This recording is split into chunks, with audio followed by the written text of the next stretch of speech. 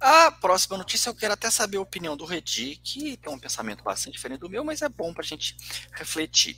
Os principais parques da cidade de São Paulo, o Parque do Ibirapuera e o Parque do Vila Lobos, eles foram cedidos à iniciativa privada.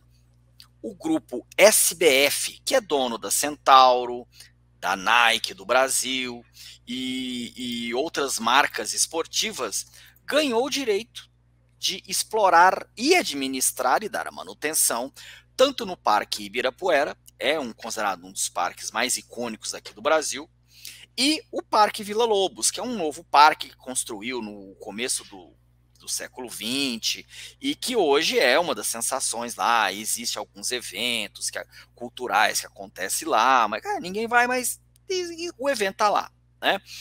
E agora eles vão começar a administrar, ou seja, vai começar a ter eventos das marcas dessa empresa, vai ter iniciativas de é, kick-off da, da, das marcas esportivas lá nesses dois parques, vão renovar as pistas de atletismo, as pistas de bicicleta, as pistas de corrida, vão renovar as quadras, vão instituir novas lanchonetes, tudo. O que, que você acha desse tipo de planejamento urbano, que é ceder espaços públicos para iniciativa privada, Redi?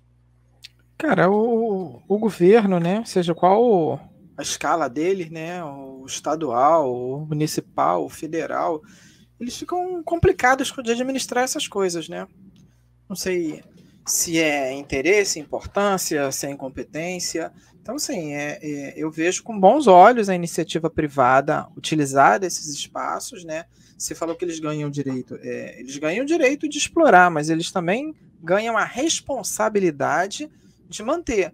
O que é muito complicado para os governos, né? Para o Estado estar tá mantendo isso. Então, assim, vejo com bons olhos, a iniciativa privada está participando de, dessas coisas, não vejo nada demais estar tá fazendo lá, porque é a marca do, é a marca do cara. É um, é um contraponto, é uma forma da gente pagar ele por ele estar tá fazendo isso.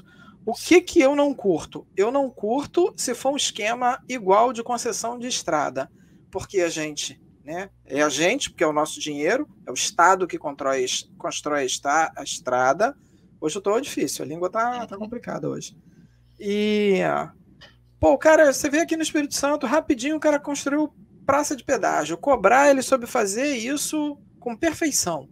Mas fazer as obras que ele deveria fazer, de melhoria, de um monte de coisa, não fez. São poucos os trechos que estão duplicados, é, é tá muito, é muito lento.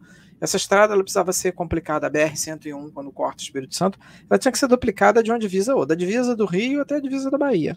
Então, é isso que não pode acontecer nas concessões. Né?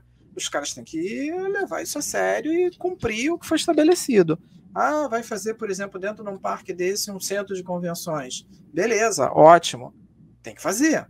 Né? O Estado tem que cobrar isso dos caras. Mas eu acho ótimo vai dar visibilidade, cria, né, é, é, cria um espaço né, que a comunidade pode aproveitar, usufruir, e eles entram com manutenção, com esse tipo de coisa.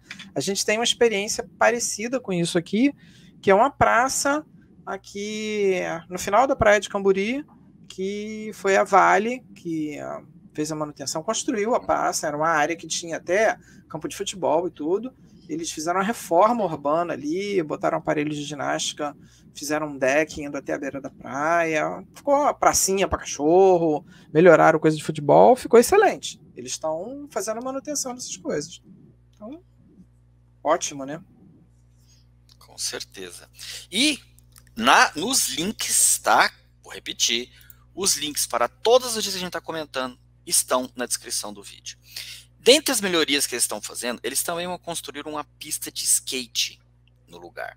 Lembra que eu estou pegando no pé de todo mundo questão de gestão do esporte? Isso tudo é reflexo de uma boa gestão do esporte no skate, que está fazendo com que o skate tenha uma visibilidade tão grande que está brotando pista de skate em tudo quanto é lugar.